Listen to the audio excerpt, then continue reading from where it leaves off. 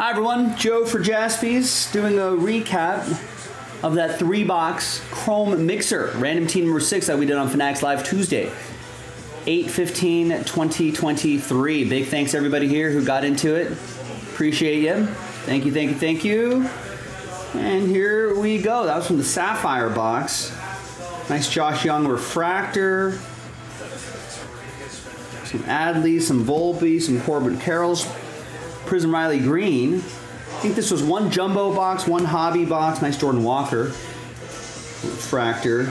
and then one sapphire box. Here are the autos. Nice. There you go. Recap video for random team number six in the books. We'll see you next time on Fanatics Live.